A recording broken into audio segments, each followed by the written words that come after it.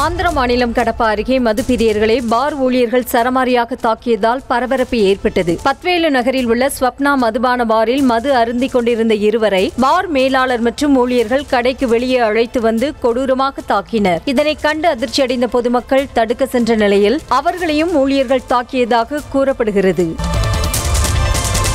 திருப்பூர் மாவட்டம் காங்கேயம் அருகே கீழ்பவானி பாசன வாய்க்காலில் ஆகஸ்ட் பதினைந்தில் தண்ணீர் திறக்க அரசாணை வெளியிடவில்லை என்றால் ஆகஸ்ட் பதினோராம் தேதி ஈரோடு செயற்பொறியாளர் அலுவலகம் முற்றுகையிடப்படும் என பாசன விவசாயிகள் அறிவித்தனர். காங்கேயம் அருகே உள்ள திட்டுப்பாறையில் கீழ்பவானி பாசன வாய்க்காலில் ஆகஸ்ட் பதினைந்தில் தண்ணீர் திறந்துவிட கோரி ஆர்ப்பாட்டம் நடைபெற்றது. இதில் இருநூற்று ஐம்பதுக்கும் மேற்பட்ட விவசாயிகள் மற்றும் பொதுமக்கள் கலந்து கொண்டனர். ஆர்ப்பாட்டத்தில் பராமரிப்பு பணிகளை துவக்கிய நீர்வளத்துறை அதிகாரிகள் கடந்த முப்பத்தைந்து நாட்கள் நாட்களுக்கு மேலாக கால்வாயை உடைத்து தற்போது வரை பணிகளை மேற்கொள்ளவில்லை என குற்றம் சாட்டினர்.